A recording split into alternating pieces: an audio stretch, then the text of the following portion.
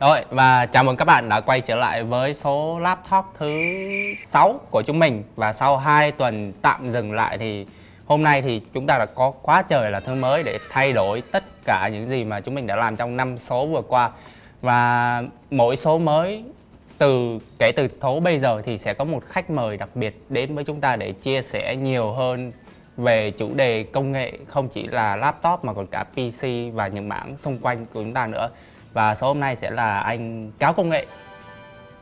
Anh đúng rồi đúng rồi anh giới thiệu gì đó đi chứ à, xin chào các bạn chào mừng các bạn đã quay trở lại với uh, chuyên mục ngày hôm nay. Và cáo rất là may mắn khi mà cáo có thể trở thành khách mời của uh, bình dạ. à, bình đã rủ rê cáo xuất hiện trong số ngày hôm nay và mình sẽ nói nhiều hơn về uh, chủ đề pc nha rồi vậy thì uh, mở đầu chương trình đi. Anh có câu hỏi gì gửi đến em trước khi em có câu hỏi uh, lớn gửi đến anh không? ok um, khi mà bình gửi chủ đề của ngày hôm nay đó chính là uh, thời điểm này tại sao nên mua PC hoặc là PC thời điểm này có nên mua hay không? Đúng rồi. Thì uh, câu hỏi đầu tiên mà anh anh muốn đặt cho bình vốn là một người review rất là nhiều những cái mẫu laptop yeah. Dạ. cũng như là cũng có kiến thức trong mảng PC những cái linh kiện về uh, PC yeah, dạ, nhưng yeah. mà một câu hỏi rất đơn giản thôi tại sao không phải là laptop mà lại là PC mà tại sao phải là PC chứ không phải là laptop câu hỏi này thì tùy thuộc em thứ nhất là em tùy thuộc vào vào nhu cầu của mình là chính thôi chứ không phải là số tiền hay là sao cả tại vì cùng một số tiền đó chúng ta có thể build được một bộ PC hoặc là một cái laptop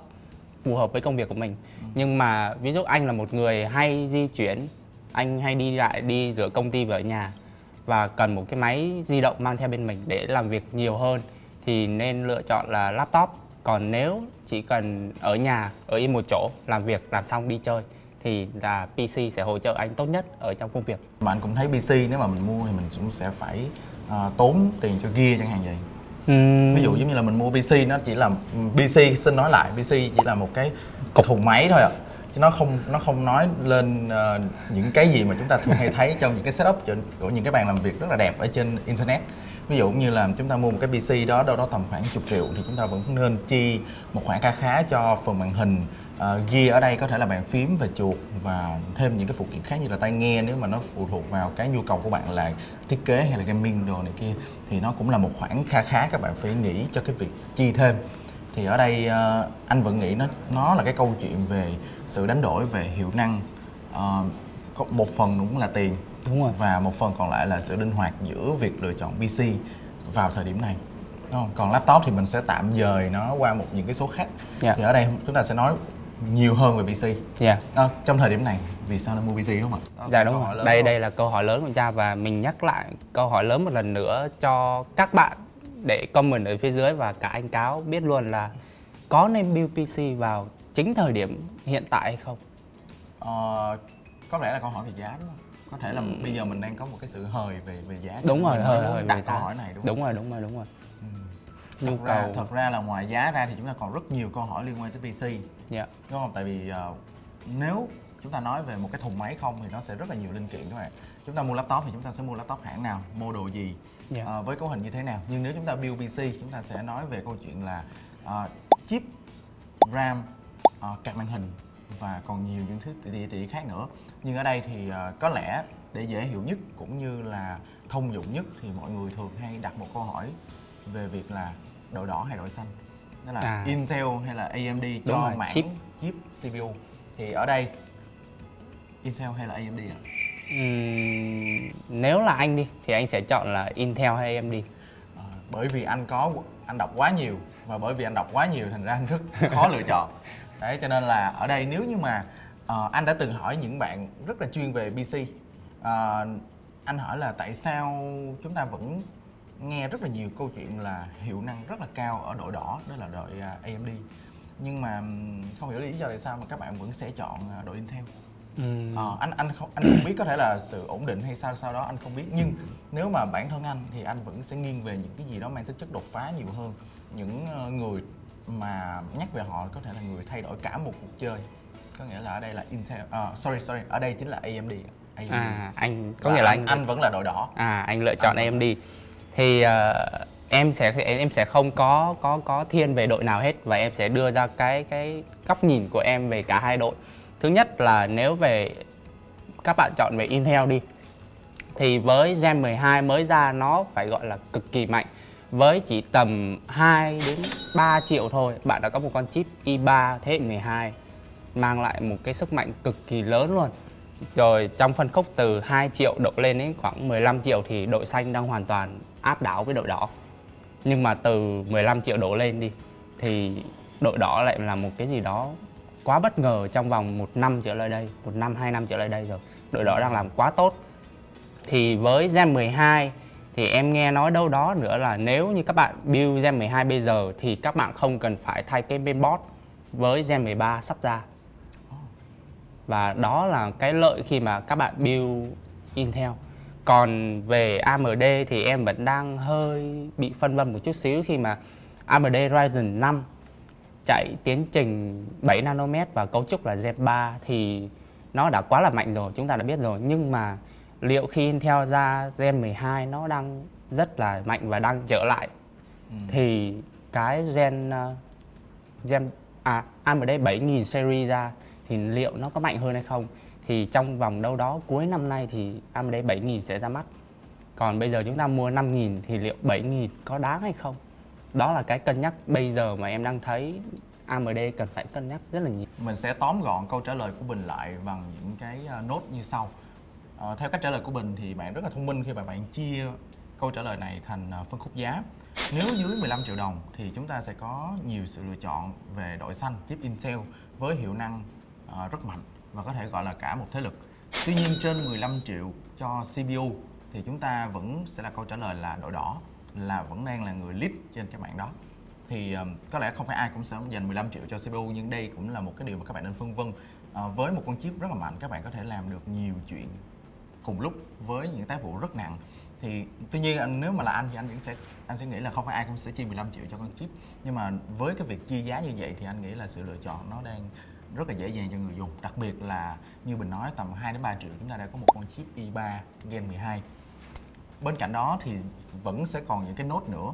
Ví dụ à, nếu như bây giờ khi mà các bạn mua con chip Intel Gen 12 thì khi mà Gen 13 ra mắt đâu đó cũng rất là nhanh thôi tầm uh, năm sau nha năm sau là à, Gen 13 đúng rồi cuối năm nay tầm cuối năm yeah. Dạ. là ra rồi. Thì khi mà các bạn đã sử dụng Gen 12 rồi các bạn có thể lên Gen 13 mà không cần phải thay đổi main đó là một sự nâng cấp rất là dễ dàng. Nếu như ai đã từng uh, có ý định muốn mua PC và có nhu cầu nâng cấp về sau thì đây cũng sẽ là một cái nốt dành cho các bạn Ờ, bên cạnh đó nói về độ đỏ thì hiện tại uh, sự lựa chọn của chúng ta đang dừng lại ở chip uh, Ryzen và thế hệ nó là 5000 series. Đã có 6000 series nhưng không xuất hiện trên desktop các bạn và cuối năm nay nó sẽ ra 7000 series. Thì liệu uh, 7000 series chính là câu trả lời cho Gen 12 của Intel. Thì nếu như bây giờ các bạn lại mua uh, ngay thời điểm hiện tại thì mình nghĩ nó sẽ có một sự FOMO rất lớn cho chính các bạn vào cuối năm nay thì có lẽ bây giờ nếu chúng ta đi theo uh, chủ đề này cho thời điểm này có việc lựa chọn chip đội đỏ cho uh, 5000 series thì có lẽ không phải là một sự lựa chọn khôn ngoan lắm. Đúng rồi, dạ, đúng nếu như nếu như nếu như bạn không không FOMO những gì mình nói thì mình nghĩ ok bạn cứ mua đi ạ vẫn đam mê đi ạ. Tại vì nói một chút xíu về câu chuyện của ờ, chip AMD đội đỏ thì cách đây tầm 2 đến 3 năm vì sao mình gọi đội đỏ chính là cái người đột phá thì à, người dùng CPU không có nhiều sự lựa chọn. Ngày xưa thì chúng ta hay thường hay nói là Intel vẫn rất là ổn định vẫn rất là bền nhưng mà họ không có nhiều nâng cấp qua từng năm. Cho đến khi Intel uh, sorry các bạn cho đến khi AMD họ ra mắt tiến trình Ryzen và họ đánh phủ đầu uh, Intel và họ quay trở lại thế thống lĩnh đâu đó tầm khoảng 1 đến 2 năm sau thì chính xác là Intel đã trả lời bằng Gen 12 đó đó chính là câu chuyện trong giới CPU của chúng ta và nhờ có AMD mà chúng ta đã có một thế hệ Intel Gen 12 rất ngon các bạn. Rất ngon. Cực kỳ ngon. Đó. Dạ. nghĩ sao mà con i5 mạnh hơn con i7 đó. Ok và chúng ta đã xong câu chuyện về chip CPU thì bây à, giờ có lẽ là sẽ đến không, uh... không từ từ em ngắt lời anh cáo một xíu. Vì em có một câu hỏi không liên quan gì đến uh, hiện tại PC hiện tại cho lắm nhưng mà nó lại liên quan đến chip okay. vậy thì anh thấy hơi lấn sang laptop một xíu nha. Anh thấy chip Gen 12 ở trên Intel đã ra rồi tại sao mà ở trên các cái con máy laptop á, vẫn chưa phổ biến lắm về Gen 12 mặc dù ra mắt rất là lâu rồi nha. Một câu hỏi phá kịch bản các bạn đây là một câu hỏi phá kịch tôi không nhận được câu hỏi này trước đây.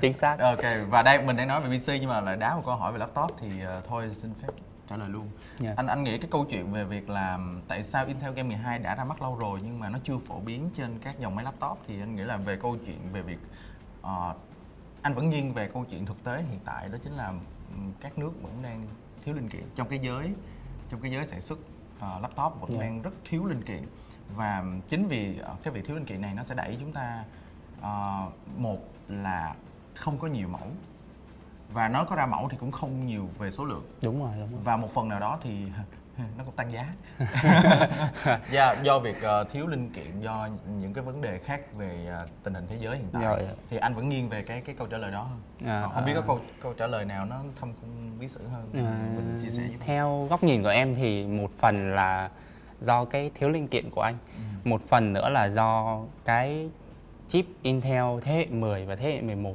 đang rất là nhiều.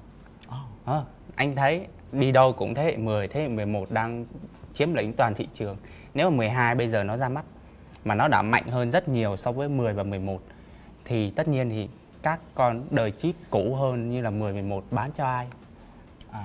thế nên là nhà sản xuất đã không có sản xuất ồ ạt mà sản xuất từ từ đến khi nào mà Gen 10 và Gen 11 đã bán gần như là sạch hàng. Thì lúc đó Gen 12 mới bắt đầu chiếm lĩnh thị trường theo em là vậy. ờ, một một đây là góc nhìn của bình thôi ạ. À. đây là góc nhìn của bình thôi ạ. À. đây không phải là góc nhìn chính thức đúng từ rồi, đúng nhà rồi, sản xuất các bạn. Không cũng không ờ, đến từ những nhà bán lẻ luôn. Tại vì thật sự trong giới nếu mà chúng ta chơi với nhau chúng ta tìm hiểu về công nghệ thì chúng ta sẽ biết là Gen 12 mạnh hơn kha khá so với Gen 10 và Gen 11 tính riêng về mảng CPU của Intel và tính riêng trong CPU của laptop À, tuy nhiên thì uh, nó nó mạnh hơn như thế nào, nó mạnh hơn nhiều ra sao nó cũng phải tùy thuộc vào cái tác việc của các bạn. Đúng Chứ rồi, không phải lúc nào chúng ta cũng sẽ nói là Gen 12 mạnh hơn và nó mạnh hơn tuyệt đối thì không phải đâu các bạn. Ví dụ như chúng ta chỉ sử dụng máy cho những tác vụ văn phòng thì 10 và 11 vẫn dư hoạt động uh, vẫn dư cái hiệu suất cho những cái công việc đó và các bạn có thể sử dụng thoải mái. Chúng ta còn bị ràng buộc bởi những yếu tố khác nữa, không chỉ là con chip không. Nhưng bản chất của con chip cho những tác vụ đó vẫn không hề yếu ở đây mình phải nốt lại đúng uh, không hề yếu. ở đây là không hề yếu nha. Uh, nó chỉ không mạnh hơn so với uh, game 12 thôi và tất nhiên là thế hệ sau phải mạnh hơn thế hệ trước. Thôi chúng ta đá một chút xíu vào laptop thôi chúng ta quay trở lại với pc các bạn ạ. Thì uh, một câu hỏi quay trở lại kịch bản để chúng ta không không bỏ cuộc nữa. Nữa. là uh, hiện tại thì uh, theo thông tin anh được biết và theo những gì anh cũng tự tìm hiểu được thì uh, giá card đồ họa đã giảm và nó đã qua một cái thời kỳ à, đẩy giá rất là cao cho card đồ họa rồi. Thì hiện tại đã là thời điểm vàng để chúng ta có thể mua card đồ họa trên PC hay chưa? Và một câu hỏi nhỏ nữa là các đồ họa đội xanh hay đồ đỏ nữa? Lại một câu trong kịch bản. à, rồi một câu không có trong kịch bản. Thì thôi bây giờ chúng ta trả lời câu hỏi trước câu hỏi về giá. Rồi câu hỏi về giá đi. Thì hiện tại thì so với thậm chí là so với một tháng hoặc là hai tháng trước đây thì nó đã rất là khác rồi và theo em nghĩ nha bây giờ đã là một cái mức giá không phải là giảm sâu mình không thể gọi là giảm sâu được mà mình phải gọi là nó đã trở về giá đúng giá đúng của nó à, okay. về đúng giá trị của nó chứ không phải là giảm sâu tại vì trước đây nó bị thổi phồng lên tại vì nhu cầu, uh, nhu cầu người dùng cao một phần là do covid đã ừ. làm không có linh kiện okay. làm tắt cung ứng cái thứ hai là do giá các đồng tiền ảo nâng lên cao ừ. rồi người dùng ngay cả Nvidia họ cũng giới hạn lại không cho cái card đó đào coin nữa nhưng mà người dùng tự crack luôn à. tự phá ra để mua cái card đó về để đào được coin luôn thì từ đó dẫn tới là thiếu nguồn cung ừ. thì đẩy giá lên rất là cao và bây giờ thì nguồn cung đã trở lại một cái guồng rồi Hay. từ đó thì giá đó đã trở về đúng giá trị thật và mình dám khẳng định là nó sẽ không xuống được nữa tại vì chẳng có ai dại đi mà bán một con cặp màn hình với giá lỗ. Đúng thì bây giờ là thời điểm rất là tốt để build được một cái cặp màn hình rồi. Nhớ không nhầm hình như 2060 đâu đó có 6 triệu đồng. Ừ. trong khi hồi đó 6 triệu đồng chẳng mua được cái gì cả. Ừ. ok nốt lại một chút xíu đó chính là uh, ngày, ngày trước khi mà giá của card màn hình bị đẩy lên cao đó chính là do nhu cầu cao nhưng mà cung ứng không đủ. Cung ứng không đủ. À, đặc biệt là người dùng họ sử dụng uh, kèm màn hình để họ đào coi. Đào coi. Đó nhưng mà giá coi thì đã giảm và cung ứng thì đã quay trở lại ổn định hơn xưa. Thì uh, hiện tại mức giá của các đồ họa đang trở về đúng với giá trị thật chứ không phải là đang giảm như chúng ta nghĩ. Đúng rồi. Đó thì uh, theo dự đoán của mình thì nó sẽ không giảm nữa bởi vì uh, sẽ không thể thấp hơn cả giá mặc định từ nhà sản xuất đưa ra. Đúng rồi đúng. Thì có lẽ như bây giờ các bạn cũng đã bắt đầu nên suy nghĩ về việc là có thể tự tin hơn trong việc lựa chọn à, cả màn hình của bạn. Ít nhất là nó sẽ không bị thổi giá do nhu cầu. Đúng rồi hơi lan man xíu nhưng mà coi cũng đang lên giá giá lại rồi. Coi đang lên giá chúng lại. ta nên tranh thủ ạ. Chúng ta nên đúng tranh rồi. thủ. À, à không vấn đề coi lên giá lại thì cũng không phải là vấn đề lớn khi mà nguồn cung ứng đã ổn định rồi qua 2 năm covid hai năm ừ. rưỡi rồi hai năm rưỡi covid thì chúng ta đã có quá nhiều bài học và chúng ta đã tập thích nghi với nó nên em nghĩ là cái việc cung ứng và cái việc vận chuyển nó tốt hơn rất là nhiều rồi. Và giờ nguồn hàng của các đồ họa đang gọi là dư giả dư giả luôn rồi. Họ không còn thiếu như trước nữa nên là dù giá coi có lên đi chăng nữa thì em nghĩ giá các đồ họa cũng không bị ảnh hưởng quá là nhiều nữa. Có lên thì đôi chút. Ừ.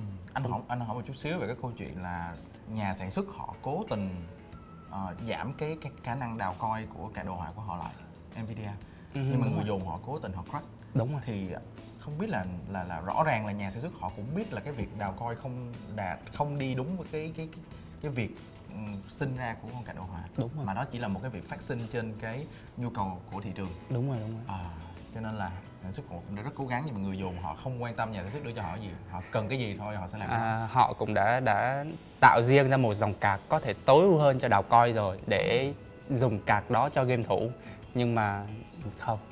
À, không. À, tôi không đủ thì tôi mua cả cả game thủ về tôi crack ra tôi đào. À nhớ ngày xưa có một cái trường hợp là họ sử dụng cả cả đồ họa của laptop. Đúng rồi họ đào. coi bằng laptop cho nên có một thời điểm là nó nó nó khan hàng cả laptop luôn đúng rồi đúng rồi wow à, em nhớ đâu đó các pháp sư trung hoa còn đào bằng cả hình như là ram hay ổ cứng gì đó em không nhớ à, nữa nhớ, nhưng mà còn nhớ. đào được bằng cái đó nữa thì ba cái chuyện là nhà sản xuất giới hạn lại số lượng đào coi hay là tốc độ đào coi thì chuyện đó crack okay. không phải là vấn đề ok Rồi. cũng cũng khá là thú vị vậy thì à, một câu hỏi thứ hai. Đó chính là đó chính là em nhường lại cho anh. đó, no no no. Bởi vì uh, xin lỗi các bạn là nói về chip thì mình còn biết một chút xíu nhưng mà nói về card đồ họa thì mình hoàn toàn thua. Uh, card đồ họa mình có thể hiểu một chút về đội xanh. Đó yeah. chính là những con RTX uh, 2000 series 3000 series thì mình còn hiểu một chút xíu thậm chí là bản thân mình thì vẫn đang xài 1070 desktop. Có nghĩa là 1000 series mình vẫn follow rất là chặt. Tương lai này con muốn lên 1080 mình đúng desktop. Đấy nhưng mà nói về card đồ họa của đội đỏ AMD thì hoàn toàn là mình à, mình vô vọng mình không biết một chút xíu gì về ừ. cái dòng card này cả. Và ừ. có lẽ là mình sẽ cần bình tư vấn về điều này. Dạ à, nếu thế thì em sẽ nói về uh, dòng RX trước rồi sau đó về đội xanh thì em sẽ nhường lại cho anh cáo. Ờ, tại vì anh nói anh giỏi. No, no, no, no, no. anh biết anh, chứ anh không giỏi. Thì, thì anh biết thì anh sẽ chia sẻ những gì thì, biết thì, cho các thì bạn. mình có thể đơn giản là chia sẻ về công việc là uh, đội xanh sẽ tốt nhất cho cái gì và đội đỏ có thể tốt nhất cho à, cái gì. à. đó từ đó thì người dùng họ sẽ họ sẽ biết được là ok uh, với nhu cầu của của mỗi người họ nên dùng uh, kẹt đồ họa của đội nào ừ. cho công việc gì và đôi khi là nó cũng hơi một chút xíu về hướng PP có nghĩa là hời nhất về tiền cho mức hiệu năng tốt nhất thì em có thể gợi ý vài tên à, đồ chẳng hạn như vậy đấy. Thế thì à, nếu mà trong cái thời bão giá thì em nghĩ là RX nó rất là ngon. Ừ. RX của AMD rất là ngon. RX 6000 nếu em nhớ không nhầm. 6000 đúng rồi. 6000 nếu em nhớ không nhầm là thế. Còn trong thời kỳ không bão giá thì RX vẫn ngon. À. vâng vẫn là nó khác với sự lựa chọn đội xanh cho Sudo thì uh, Bình là sự lựa chọn đội đỏ cho các đồ họa đúng rồi tại vì uh, nếu nó nó ra mắt cùng với dòng Ryzen 5000 series ừ. thế nên là nó là một cú phải gọi là đánh bật đánh bật lại những gì mà Intel đã dìm phải gọi em phải gọi là từ dìm AMD trong từng ấy năm ừ. thì với hai dòng chip và các đồ họa nó đã làm được quá nhiều thứ khi mà cả nhân sức nhân đồ họa sức mạnh lẫn khả năng ăn điện tiêu thụ à, TDP thì họ rất là cao có khi lên tới 135 W nếu em nhớ không nhầm là thế rồi về à, nếu như để nói về các nhu cầu cơ bản như là chơi game rồi chuyên sâu một xíu là edit hình ảnh video thì ừ. cả hai loại card cả Nvidia lẫn AMD đều làm tốt được các nhu cầu đó và các bạn có thể mua bất kỳ chiếc card màn hình nào đang có trên trên trên um, thị, thị trường mà các bạn đủ tiền để mua thì không cần quan tâm quá nhiều và về đội xanh hay đội đỏ nhưng mà nếu các bạn mà thiên về uh, đồ họa kỹ thuật một xíu ừ. thì em nghĩ là đội đỏ sẽ có một chút gì đó tối ưu hơn. Oh. Đúng rồi. Kỹ thuật à? Đúng rồi, một chút gì đó tối ưu wow. hơn. À, còn chơi game thì Nvidia luôn là nhất. À rồi ok. Với oh. em thôi nha, với em thôi nha. okay, với em thôi. Câu trả lời là rất là ngắn gọn từ Bình ha. Rồi rồi, vẫn như bình thường, vẫn như Sebo thì uh, xin phép được nốt lại như thế này. Đầu tiên là uh, Bình nghiêng hẳn về phía uh, đội đỏ cho dòng uh, XT. RX. RX dòng RX và đối với Bình thì cái combo uh, chip Ryzen và card RX thì lại là một cái combo quá mạnh về hiệu năng Đúng rồi. và như Bình nói nó đánh bật cả Intel lẫn Nvidia trong thời điểm mà bộ đôi này ra mắt uh, có một cái lưu ý cho các bạn là khi mà các bạn uh, mua card màn hình thì thường thì chúng ta sẽ phải mua luôn cả bộ đúng không ạ? Uhm, không cần thiết đâu anh. Ừ. Tại vì chỉ cần là nó tương thích với main À, đúng vậy rồi. là chúng ta hoàn toàn có thể sử dụng uh, chip Intel đúng rồi và cả AMD. AMD à miễn không là sao hết. miễn là cái men nó hỗ trợ. Đúng rồi, okay. men hỗ trợ là được. Xin phép được quay trở lại với cái phần mà Bình đã nói lúc nãy đó chính là nếu như các bạn có tiền và kinh tế không phải là vấn đề thì cứ mạnh dạn mua tất cả những cái gì các bạn có thể mua trên thị trường không quan tâm nó là đội xanh hay đội đỏ miễn là các bạn thích màu gì là được à, bên cạnh đó thì uh, đối với bình thì dòng cạc đồ họa của đội đỏ lại có một vài ưu điểm hơn ở những cái công việc kỹ thuật. Đúng rồi. Đó chính xác kỹ thuật gì thì cũng không biết. Về dựng phim hay là dựng 3D à à, à à. Rồi cái uh, tiếp theo đó chính là bình thì vẫn ưu ái cho cái tác việc chơi game về phía đội xanh. Thì uh, không bản thân anh anh cũng anh cũng ưu ái như vậy tại vì anh anh thích cái việc là đội xanh thường xuyên đưa ra những cái bản cập nhật về driver và anh rất là thích cái điều đó. Rồi không biết là có câu hỏi trừ kịch bản nào không ạ? À, câu hỏi trừ kịch bản Nếu như là hiện tại đi thì bộ PC ở nhà của anh đang là gì? đang là cấu hình như thế nào? Bộ PC của anh ở nhà anh anh nhớ Đúng rất là rõ thông số em ạ. Đầu tiên anh đang sử dụng chip uh, Intel i5 thế hệ 8. i5 thế hệ 8. i5 thế hệ 8. Sau đó anh sử dụng uh, card đồ họa 1070 đến từ MSI 8GB RAM. Ồ. Oh. anh nhớ rất rõ luôn. Uh, anh sử dụng 16GB RAM 16 GB RAM. Tất nhiên là mình sử dụng SSD các bạn à, không sử dụng HDD nữa. Đấy. Rồi, rồi. Um, còn gì nữa không ta? À, hết rồi. Hết rồi. À, mình tạm thời bỏ qua bộ nguồn đi thì chắc từng nấy đây bộ nguồn cỡ 500W là kéo được nổi rồi. Rồi ok. Rồi. Đúng rồi. À, với 16 GB RAM chắc chắc chắn sẽ là DDR4 rồi. Đúng đúng. Đúng không? Đúng không? Đúng mua khá lâu rồi. Đúng rồi. Anh có nghe qua RAM DDR5 chưa? Anh có nghe đã, qua công nghệ đã này có đã có nghe. DRAM 5 anh cũng đã thấy trên laptop rồi. Đấy còn cái thực sự của DRAM nó nó nâng cấp như thế nào nó ờ, tăng tốc nó hỗ trợ máy mượt hơn nhanh hơn ra sao thì xin lỗi là trên desktop anh không nắm quá nhiều thông tin. À dạ. À, còn anh anh lấy ví dụ ở trên laptop rồi vậy thì theo anh thì DDRAM 5 với DDRAM 4 ở trên laptop nó khác nhau điểm nào và năm nó hơn 4 ở điểm nào Ờ, anh vẫn là lấy từ thông số từ hãng sản xuất. À, okay. À, okay. đó là sự lựa chọn an toàn nhất các bạn. Đó là sự lựa chọn an toàn nhất.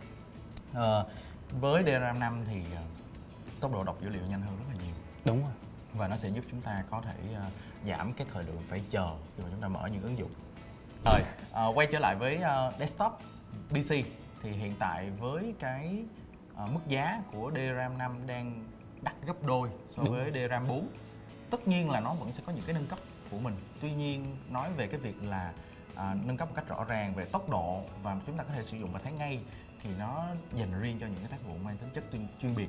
Còn đối với người dùng của chúng ta với multitask đâu đó tầm khoảng từ à, 3 tới 4 tác vụ thôi. chục tab thì nó không ờ, khác gì nhau thì nó cũng không khác gì so với DRAM 4 thì có lẽ sự lựa chọn hợp lý nhất bây giờ về mức giá và về cả hiệu năng.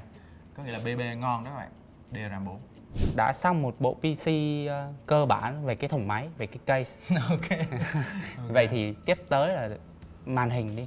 Với một người là content creator thì anh nên ưu tiên hoặc là anh nên khuyên các bạn nên chọn tỷ lệ nào kích thước nào? Hay là có cần ngàm visa để lắp lên các cái tay arm hay không? Đây là một câu hỏi trượt kịch bản các bạn trượt kịch bản. Tôi không hề nhận được câu hỏi này ở mọi thứ đã kết thúc ở BC rồi thì uh, nếu mà là cáo mà người uh, thích làm về nội dung á thì có hai điểm mà cáo phải quan trọng nhất trong một cái màn hình trong sorry trong một cái màn hình đó chính là màn hình phải là độ phân giải cao. Ừ. 2K ừ, là bình dân nhất có nghĩa là hồi xưa tiêu chuẩn là Full HD đúng không? Không tiêu chuẩn bây giờ phải là 2K và bản thân mình ở nhà đang xài hai cái màn một màn 2K một màn 4K thì nó thật luôn là 4K luôn là một cái gì đó wow. Và khi mà các bạn đặt hai cái bên cạnh nhau thì 4K là wow. Đấy cái thứ hai đó chính là cái um, đôi khi sẽ là cái tần số quét. Đôi khi sẽ là tần số quét. Nếu không chơi game thì cá sẽ ưu tiên nhiều hơn cho cái tỷ lệ màn hình. Hiện tại nó đang có khá nhiều những cái màn hình chuyên cho creator với tỷ lệ màn hình khá là mới. Người ta hay gọi là gì? Ha thì nó sẽ có uh, màn hình đến từ Huawei nè màn hình đến từ, đặc biệt là LG. LG LG thì rất hay làm ra những cái tỷ lệ màn hình mới ba bốn đúng đúng đúng. Rất là bất ngờ rất là wow thì bản thân mình rất là muốn được trải nghiệm những cái màn hình như vậy. Nó hơi dị một chút xíu nhưng mà chắc hẳn là vẫn vẫn phải có một lý do nào đó để uh, những hãng sản xuất họ làm ra những cái model với cái tỷ lệ màn hình dị như vậy. Hy vọng là Huawei hoặc là LG sẽ ừ. gửi nghe uh, màn hình à, nghe lời giải bài này và sẽ gửi uh, model cho chúng tôi để chúng tôi có thể trải nghiệm thêm ạ. Tại trải nghiệm là một cái nghiệp của reviewer và rất hy vọng được được nhận cái nghiệp này mãi mãi rồi em có muốn em muốn chốt lại cho người uh, xem của em một chút xíu cái câu chuyện mà nãy giờ chúng ta đã bàn về chip và card chip và card thì uh, có lẽ là anh cáo vừa mới chốt lại giúp em rồi. Ừ. có nghĩa là chúng ta nên mua ở thời điểm hiện tại hay chưa? Thì chắc chắn câu trả lời sẽ là nên nên mua thời điểm hiện tại rồi. Các bạn có thể build được với mức giá tốt nhất thôi. Đâu đó chỉ cỡ 32 34 triệu gì đó đã có một con i5 12 và ừ. 3060 3060 RTX 3060 rồi thì đó là một cái mức giá mà mình thấy cảm giác là mới 35 triệu hồi trước chỉ mua được 3060 thôi mà bây giờ mua được cả nguyên một PC rồi thì oh. rất là hời rồi oh. hời cho người dùng và đúng giá hơn cái mà các bạn được nhận thì chúng ta nên mua còn cái việc là nên mua laptop hay nên mua PC thì cái đó phụ thuộc vào bạn phụ thuộc vào nhu cầu của chính bạn mà đó thôi. là một số sau các bạn. Đúng rồi đó là một số sau. mình còn được mời à, vẫn còn mình vẫn còn được uống nước. Mình vẫn còn được uống nước. Không sao chúng ta là gia đình. Rồi ok. Rồi ok nhưng mà, nhưng mà tiền nhận thì không tính giá gia đình. Ừ, ok ok không tính giá gia đình. Rồi ok. Rồi xin cảm ơn các bạn đã theo dõi số uh, laptop lần này, này. À, xin chào và hẹn gặp lại trong những uh, số sau. Rồi à, và nếu như mà các bạn có yêu cầu gì vào số sau có câu hỏi gì thì nên để lại bình luận để chúng mình có thể xem và chúng mình có thể ghi nhận ý kiến của các bạn. Ừ. Rồi, còn bây giờ thì xin chào và hẹn gặp lại. Peace. Đi ăn cơm trưa thanh báo thôi.